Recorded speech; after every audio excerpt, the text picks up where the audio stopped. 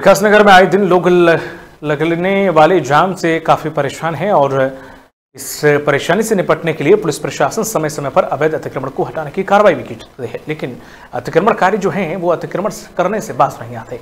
वहीं विकासनगर में तैनात पुलिस अधिकारी भुवन पुजारी के नेतृत्व में अतिक्रमणकारियों के खिलाफ चालानी कार्रवाई की गई। साथ ही लोगों को हिदायत भी दी गई है कि वह अवैध अतिक्रमण को ना करें।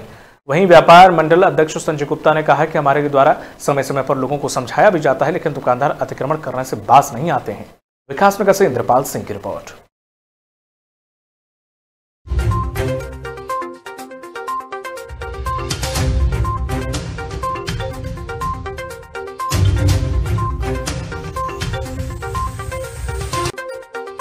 इसलिए यहाँ की जनता को और व्यापारी वर्गों को निजात दिलाने के लिए सबसे अनुरोध किया है कि अपनी भी दुकानों को फुटपाथ से हटा लें।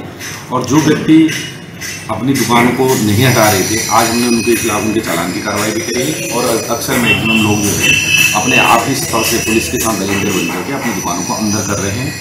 और ये हमारा जो प्रयास है निरंतर चलता रहेगा।